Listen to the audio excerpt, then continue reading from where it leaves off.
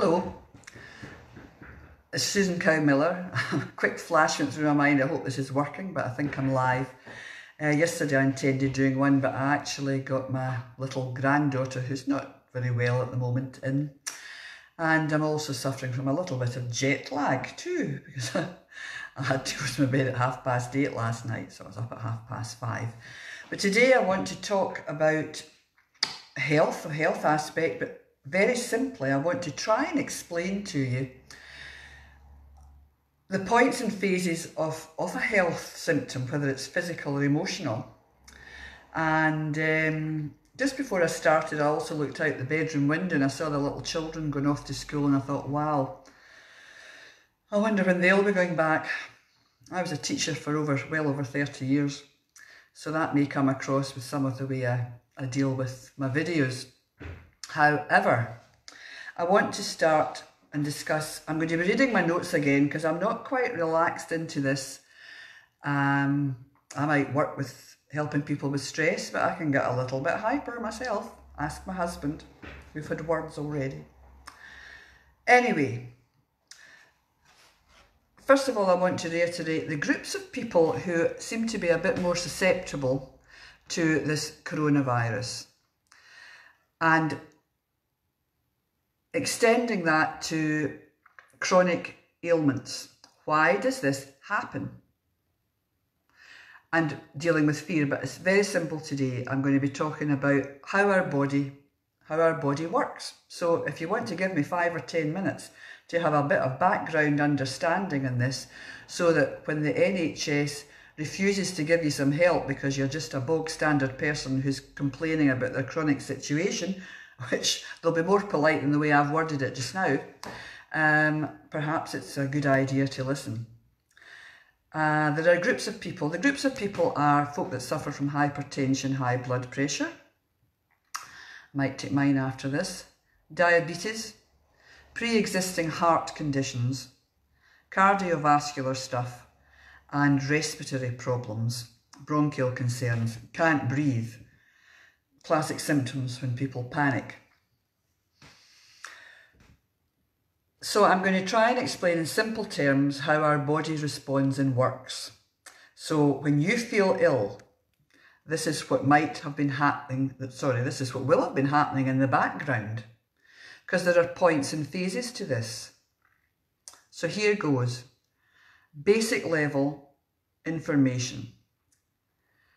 Um, Number one, some stress trigger will have made us jump into um, a stress phase. So we need a stress trigger, number one. It could be something that's happened at home, work, a family situation, something that gives one, you, me, a knee-jerk reaction and we're in stress. It can be big or small, and it's big or small because it's big or small to you. It's probably monumental, actually. So number two, you're in the stress phase. It's working in the background. It can be a long time. Hi, Louise.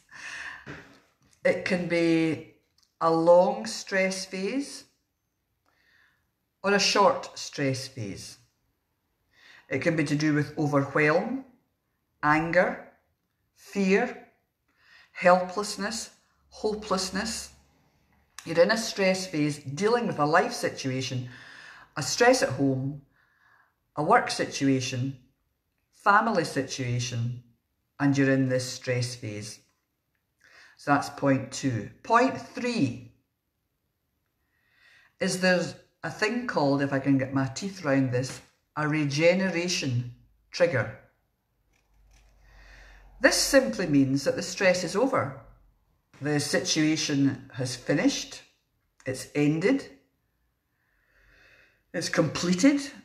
It could be happily completed, ended or finished. It could be satisfactorily completed, ended or um, finished. It could be unhappy, but the stress phase is over. It's finished. It's past. It's complete. Now, sorry, I'm reading this little bit of, I'm, I'm, no, I'm not going to interrupt. We then go into the regeneration phase. Now, the regeneration phase is when you have an illness, when you have pain. Uh, perhaps I might take that away. My colleagues will be jumping on my back with that. It's when an illness, the physical symptom or the emotional symptom, looms its ugly head. Again, I'll qualify myself by trying to make this as simple as possible. So, the degeneration, the illness, it's when we feel ill. And that's our body healing. Our bodies said, oh, the stress is over. Thank goodness for that. I wondered when that was going to happen. This is all done at cellular level, way without one's understanding, probably and you feel ill. The stress is over. Your body says, thank you very much. I'm now going to heal. It regenerates. In a lot of ways, it makes itself stronger. But we can feel horribly ill. Now, these illnesses can be mild, they can be serious, and they can be fatal.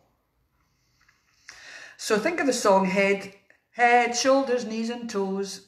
Think about that. Think about bowel. Think about head. Think about heart. Think about women's body parts, men's body parts, the stuff that causes embarrassment, you name it.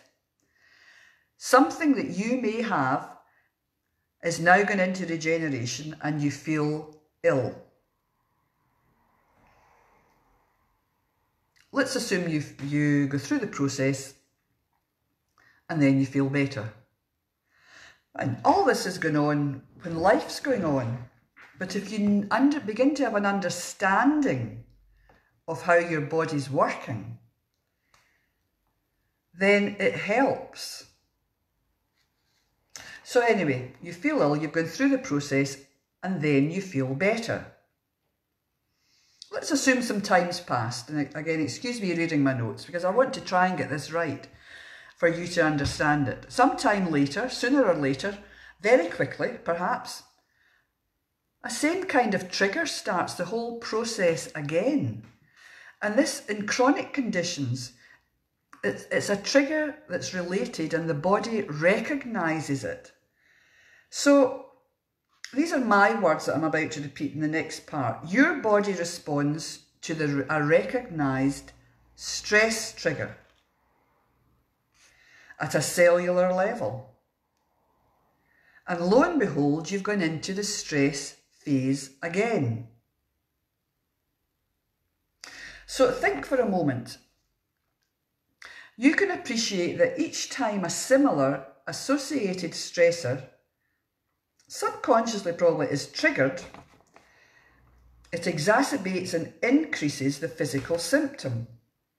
The physical symptom that shows up when your illness appears, when you're in regeneration. Now, I hope I haven't lost some of you. But this is the bit I put in a piece of paper. And um, I've said, so now that the NHS is not able to give us all the quick fix, the medication that we need, and we need it now, we want it now because we're used to having it now, it's time to at least try to understand how our bodies and the ever powerful mind works. But today I'm talking about the, the the five five reasons why we portray an illness. I'm not going into the woo-woo stuff with the head, other than don't let your head rule your body. Go away and take some deep breaths. Uh, right, give me a moment while I check what I've read and what I want to read. Okay.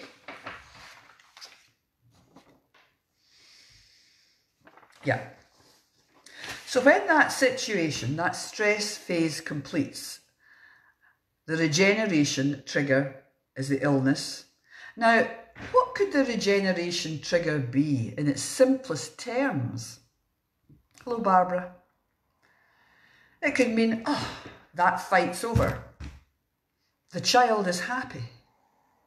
My partner loves me. The bitch bastard has left work. You know, it's like if you're having a hellish time at work when that person moves out of your sphere, you're relaxing a bit.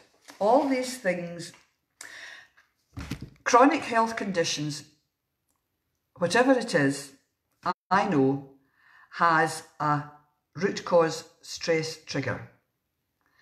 Hearts, lungs, legs, they're all different, hugely different.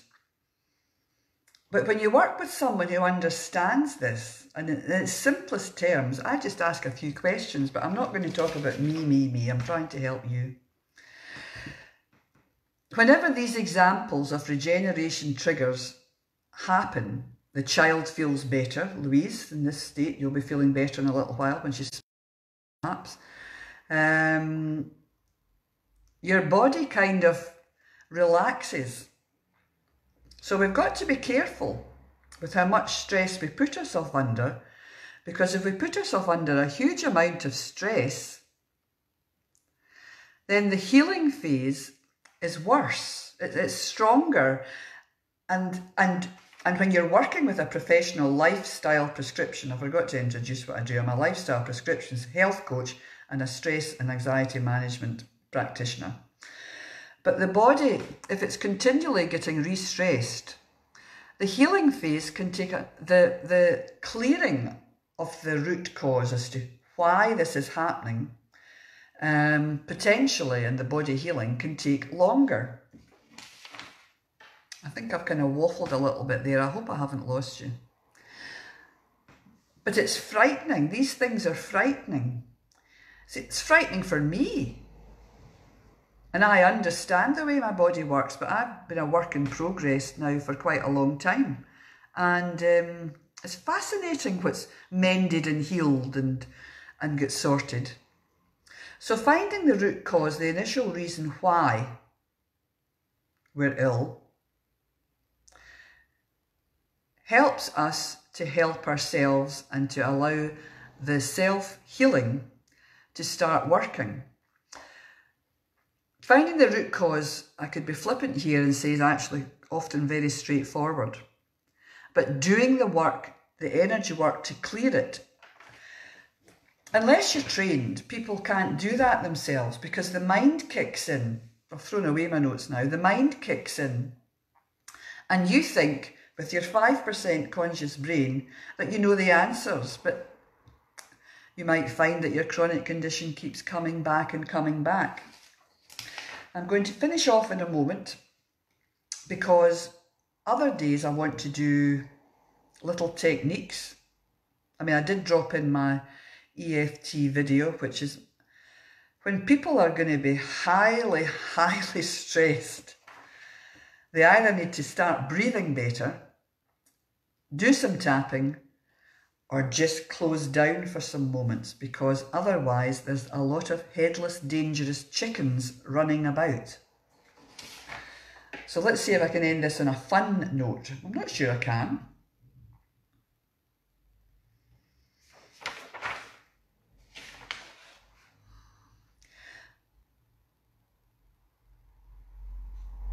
I'm basically finished.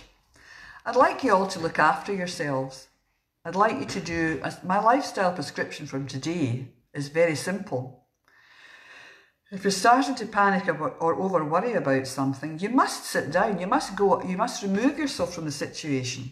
Go into a different room and sit and do two minutes or five minutes of deep breathing to get a handle on how you're going to spend the rest of your day.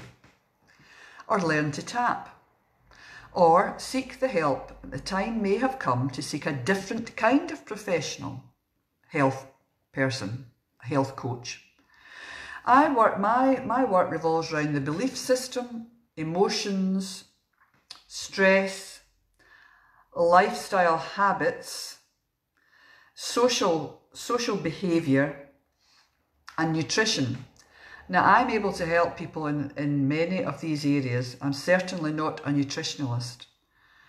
But we, we, we health coaches are professionals. And I would be recommending you. Yeah, these things cost money. But my goodness me, let's if anyone takes two seconds to think about how we waste a lot of money, the time's come to look into your health a little bit better. And there's, there's people out there that can help you. And um, I've got wonderful colleagues who were all just wanting to let people understand the way the body works. I'm going to very quickly reiterate before you all switch off. There's five, let's say, make it simple, five phases. You have a stress trigger. Something sets you off.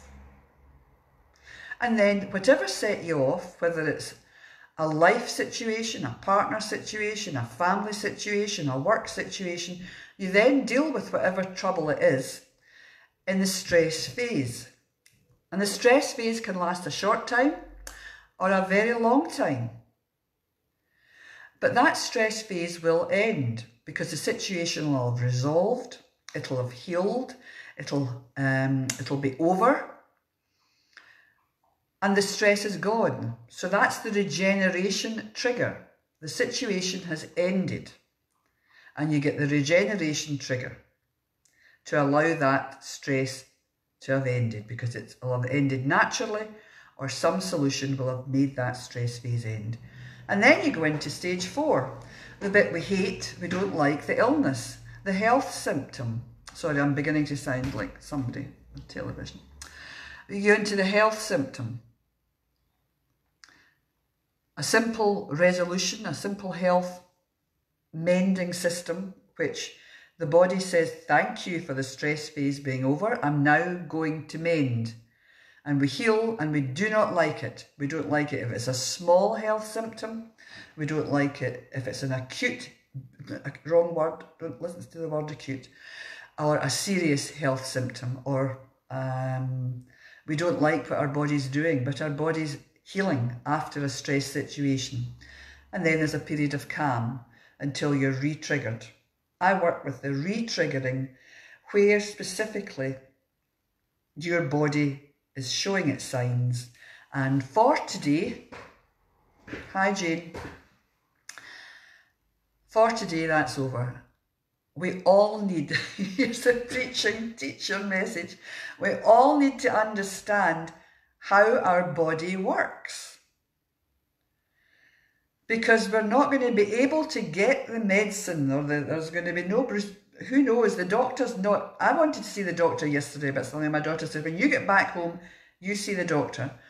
Anyway with whatever i was wanting to show the doctor i can't for two reasons. One um, i've been she said um, the main reason is that i've only been back in the country for about two and a half days these doctors have to protect themselves, and the bog standard Joe public are going to hate it because we're, we're used to this quick fix.